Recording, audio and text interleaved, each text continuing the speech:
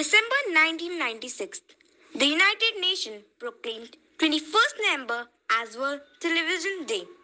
The day is celebrated to reorganize the importance of television in our lives.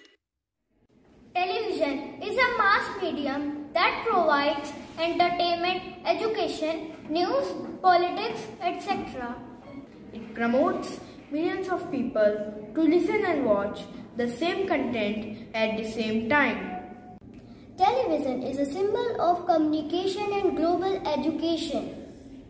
Television is the best source of entertainment and we are happy to watch it.